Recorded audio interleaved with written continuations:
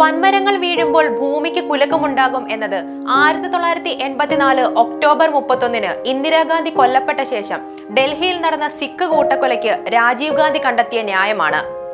കോൺഗ്രസ് നേതാക്കൾ മുന്നിൽ നിന്ന് നയിച്ച ഈ വംശഹത്യ സിഖ് സമൂഹത്തിന് ഹൃദയത്തിലേൽപ്പിച്ചത് ആഴത്തിലുള്ള മുറിവുകൾ. കേന്ദ്രമന്ത്രിമാരടക്കം നിരവധി കോൺഗ്രസ് നേതാക്കൾ ഈ കൂട്ടക്കൊലയിൽ പ്രതിസ്ഥാനത്ത് വന്നു. സിഖുകാരായ രണ്ട് അംഗരക്ഷകരാണ് പ്രധാനമന്ത്രി ഇന്ദിരാഗാന്ധിയെ കൊന്നത് എന്നതിന്റെ പേരിൽ ആയിരക്കണക്കിന് സിക്കുകാരെയാണ് ഡൽഹിയിലും പരിസര പ്രദേശങ്ങളിലുമായി കൊന്നൊടുക്കിയത്. വിഭജനകാലത്തിനു ശേഷം രാജ്യം കണ്ട ഏറ്റവും ക്രൂരമായ മനുഷ്യവേട്ടയ്ക്ക് കോൺഗ്രസിന്റെ മാത്രം ഉന്മൂലന പദ്ധതിയായിരുന്നു എന്നതാണ് പൊതുധാരണ. നമ്മൾ അങ്ങനെയാണ് വിശ്വസിക്കുന്നതും. ഇത് ശരിയായിരിക്കാം.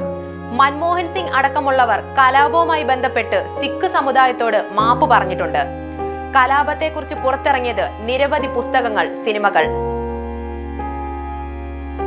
എന്നാൽ വംശഹത്യക്ക് തീവ്രത കൂട്ടാൻ മറ്റു ചില ഘടകങ്ങൾ കൂടി ഉണ്ടായിരുന്നു. സിഖ് വംശഹത്യയിലെ അധികമാരും അറിയില്ല ആ ആർ എസ് എസ് ബന്ധം. ചുരുക്കി പറഞ്ഞാൽ കോൺഗ്രസുകാരും ആർ എസ് എസുകാരും സംയുക്തമായി നടത്തിയതായിരുന്നു ഈ ന്യൂനപക്ഷ ഉന്മൂലനം. മുസ്ലിങ്ങളെയും കമ്മ്യൂണിസ്റ്റുകാരെയും പോലെ സിഖ് സമുദായത്തെയും ആർ എസ് എസ് വെറുത്തിരുന്നോ എന്നാണ് ചോദ്യമെങ്കിൽ അതെ എന്നാണ് ഉത്തരം. അതിന് തെളിവുകളുണ്ട്. നെറ്റിച്ചുളിക്കണ്ട അതാണ് ഇനി പറയുവാൻ പോകുന്നത്. ആ ബന്ധത്തെക്കുറിച്ച് വെളിപ്പെടുത്തുന്നത് ആർ എസ് എസ് സൈദ്ധാന്തികൻ തന്നെയാണ് നാനാ ദേശ്മുഖ് എന്ന നേതാവ്.